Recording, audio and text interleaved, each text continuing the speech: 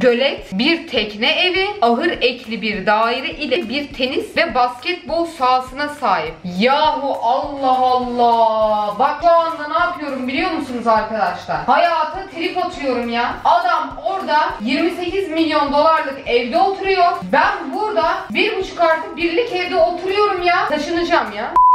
Bir insan evladı neden evine tiyatro yaptırmak istesin bana bunu anlatın. Ne yapıyorsun çocuklara Shakespeare'i mi göster Romeo ve Juliet mi oynatıyorsun? Sen ne yapıyorsun ya? Hoş geldiniz. Bugün yine egzotik, transformatik, full otomatik, süpersonik, röpteşambır bir videoyla neredeyim?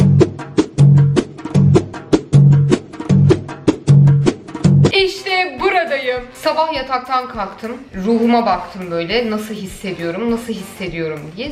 Bugün kendimi çok zengin hissediyorum. Dedim ki ne yapayım, ne çekeyim? Dünyanın en çılgın, en zengin, en uçuk 25 malikanesine bakayım. Bu video için gerçekten çok heyecanlıyım. Çünkü bugün kendimi çok zengin hissediyorum. O zaman videomuza başlamıyoruz. Videoyu beğenmeyi. Tamam 52 bin like olsun. Yorum atmayı 7500 ve en önemlisi en önemlisi kanala abone olmayı sakın unutmayalım. Sakın sakın sakın. O zaman videomuza ne yapıyoruz? Başlıyoruz.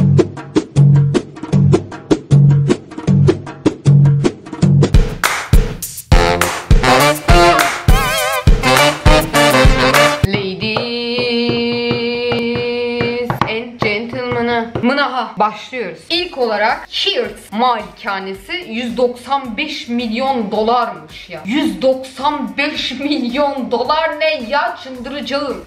Zenginin malı mülkü züğürdün çenesini yorarmış. Öyle bir laf vardı sanki. Öyle bir şey miydi yanlış hatırlamıyorsam. Evet William Hart'sın eski evi. Godfather'da ünlü atbaşı sahnesinin çekildiği bu konak 5 dönümlük bir arazide bulunuyor.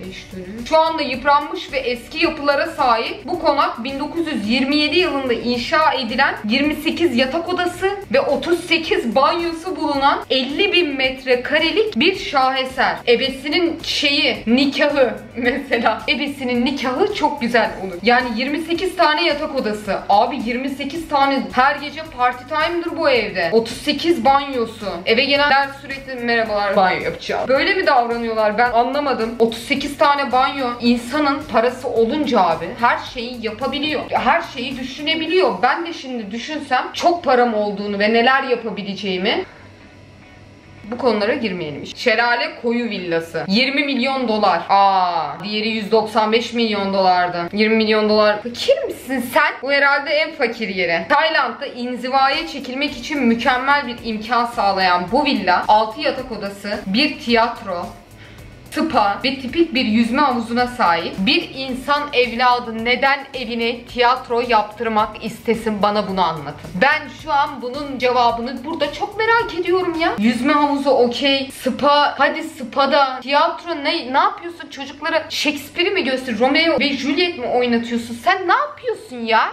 Bir insan evinin içine neden tiyatro yaptırır abi? Hani evinin içine büfe yaptırmak bile mantıklı. Hani üşenirsin. Adnan abi iki tane tost çak bana falan yaparsın. Bu bile mantıklı. Tiyatronun ne kadar entelektüel bir ailesiz. Düşünsene benim evimde tiyatro var. Evimde tiyatro var. Hayır kimse oynamıyor. Evet boş duruyor öyle. Öylesine yaptırdım. Sırf evimde tiyatro var demek için. Yani adam sırf bence o yüzden yaptırmış. İlginç bir şey. Daral Hajar. Taş evmiş. ya benim bu gerçekten okuyamayışlarım. İnşa edildiği kayadan çıkmış gibi göründüğü için Kaya Sarayı lakaplı bu ev 1930'larda Yemen'in İslami lideri İmam Yahya'nın yazlık evi olarak inşa edilmiştir. Çok sayıda gizli geçidiyle ünlüdür. Yalnız bir şey söyleyeceğim. Çok iyi. Tipe bak. İnsanın midesi bulanır camdan falan baktığında. Ama çok iyi. Popcorn Line. 39,5 milyon dolar arkadaşlar ya. Yemin ediyorum insanlar bazen 100 liranın böyle arayışına giriyorlar. Millet 39,5 milyon dolar veriyor ya eve. Eve bak eve ya böyle bir şey olamaz ya. Aspen'deki bu konak 13 bin metrekarelik ana evin ve 4 bin metrekarelik bir bekçi evi ile lüks bir malikanenin tüm imkanlarını barındırıyor. Abi ev çok iyi ya. Ama gereksiz pahalı değil mi? Bakın dünya üzerinde insanların ne kadar parası var ya. Lükse bak çıldıracağım ya. Adama bak Aspen'deki konakta 13 bin metrekarelik bilmem tıkkı mı. Biz burada 485 metrekare falan yapıyoruz. Adamlardaki havaya civaya bak ya. Alan Jackson malikanesi. Fiyatı da 28 milyon dolarmış. Maşallah. Yani kimsenin kazancında, malında, mülkünde gözümüz yok. Ama bunlar ne ya? Bu paralar ne ya? Çıldıracağım. Evler ne? 20 araçlık bir garaj. Özel bir bar. Oyun odası gölet, bir tekne evi, ahır ekli bir daire ile bir tenis ve basketbol sahasına sahip. Yahu Allah Allah. Bak şu anda ne yapıyorum biliyor musunuz arkadaşlar? Hayata trip atıyorum ya. Adam orada 28 milyon dolarlık evde oturuyor. Ben burada bir buçuk artı birlik evde oturuyorum ya. Taşınacağım ya. Düşünsenize bu evden sonra malikaneye taşıyorum. Arkadaşlar merhaba burası benim malikanem. Cenab-ı Rabbül Alemin kime ya kulum diyeceği belli olmaz yani. Aqua Liana 26.5 milyon dolarmış arkadaşlar. 26 milyon nokta 5 milyon. Sen kimsen? Bu kadar parayı sen ne yaptın? Konağın özellikleri arasında güneş panelleri ordusu, havuzun yağmur suyuyla doldurduğu bir su sistemi ve yaklaşık 10 dönümlük yağmur ormanına denk gelecek miktarda odun bulunuyor. 2000 galonluk akvaryum barından ve cam bir şarap odasından bahsetmiyoruz bile. Siz ne kafayla yaptınız bu evi ya? Anlamadım evi bak ben mesela bu evi görmeye gideceğim. Bana diyecekler ki konağın özellikleri var. Güneş panelleri ordusu. Böyle bakarım güneş spannend und ordusu 10 dönümlük yağmur ormanına geleceği odun bulunuyor. Hmm, evin en büyük özellikleri arasında odun. Tamam. Ne yapacağım odunları? Ne yapayım odunları? Ne istersiniz? Akvaryum barı var. Ay hiç benim zevkime uygun bir yer değil burası ya. Balmoral Kalesi 140 milyon dolar arkadaşlar. Herkes bu bu dakikadan sonra bir haddini bilsin. İskoçya'daki kraliyet ailesinin evi olarak geçen Balmoral Kalesi geniş mülk portföyünün sadece küçük bir parçasını oluşturur. Küçük bir parçasını artık okuyamıyorum bile şu anda. 1853 yılında Kraliçe Victoria'nın isteği üzerine inşa edilmeye başlanan kale 1856'da yılında tamamlanmış. Kale o kadar büyük ki geyik, sığır ve midilliler sürüleri ile geliyor. Bu yüzden bahar aylarında gelen misafirler için rehberli bir safariye kayıt olabilirsiniz. Ne yapayım? İskoçya'daki kraliyet ailesinin evini ne yapayım? Şimdi geyik mi ilgimi çeksin? Sığır mı ilgimi? Aa! Sığır gördüm İskoçya kalesinde mi diyeceğim ben? Ne yapayım sığırı? Hadi midilli geyik geç. Geyik hastasıyım ben geyik severim. Kale tarzı evleri beğenmiyorum ya. Bir ara annem dedi ki hani kale alalım. Anne dedim dur orada. Saçma. Kale alınır mı bu devirde? Kale alınır mı ya? Ne alınır dedi. Hiçbir şey alınmaz. Korona var dedi. Oh bu videoda da çok güzel espriler ardarda arda geliyor. Ardarda. Arda. Fairfield malikanesi.